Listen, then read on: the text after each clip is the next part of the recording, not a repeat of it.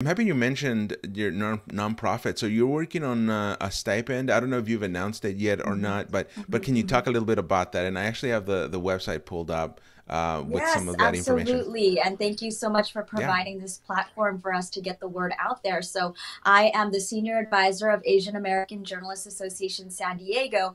And we just announced today this stipend called AAJASD Strive. And it's usually a fellowship stipend that we give out every year to help journalists, aspiring journalists, or students advance their careers in journalism by sending them to a conference or something like that.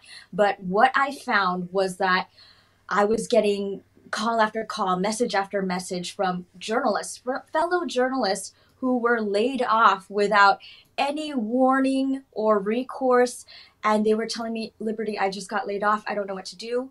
And I, it's it's mainly print and magazine, not so much television, um, as you may have noticed. But um, it it just lit a fire under me. I was like, what?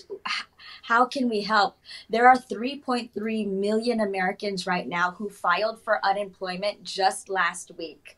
Like 3.3 million, mm-hmm. just wrap your head around that. That's a lot of people suffering uh, a layoff, suffering from not having enough possibly funds to buy groceries or pay their bills right now and it's very uncertain time for them. So i thought what can we do to help? There, there must be a way we can help.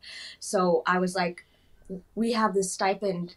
Let's let's dedicate it to any journalist who has been affected by covid-19 and let's get the help out there immediately as soon as possible because it if we are in a position to help we must help. It's the right thing to do and we have to do it